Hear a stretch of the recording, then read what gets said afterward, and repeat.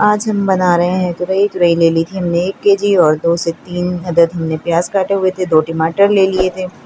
Oil को हमने कढ़ाई में डाल दिया है, ऑयल गर्म हो जाएगा तो हम इसमें डाल देंगे प्याज। प्याज भी हमने शामिल कर दिए हैं और प्याज को हल्का हल्का सा इसका कच्चापन ख़त्म करेंगे और फिर हम इसमें डाल देंगे टमाटर।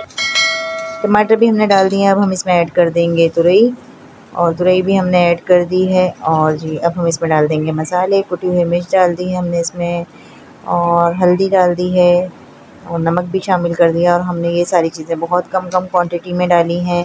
तकरीबन मैंने हल्दी ली है हाफ़ टी स्पून से भी कम और नमक लिया था मैंने, जो है हाफ़ टी स्पून और कुटी हुई मिर्च ली थी मैंने डेढ़ टी स्पून और जो है हमारी तुरई बन के तैयार हो गई। पानी का मैंने इसमें बिल्कुल भी इस्तेमाल नहीं किया है। तो सब्ज़ियों में हम पानी नहीं मिलाते हैं, बिल्कुल भी पानी के बगैर ही मैं सारी सब्ज़ियाँ बनाती हूँ और सब्ज़ी बन के हमारी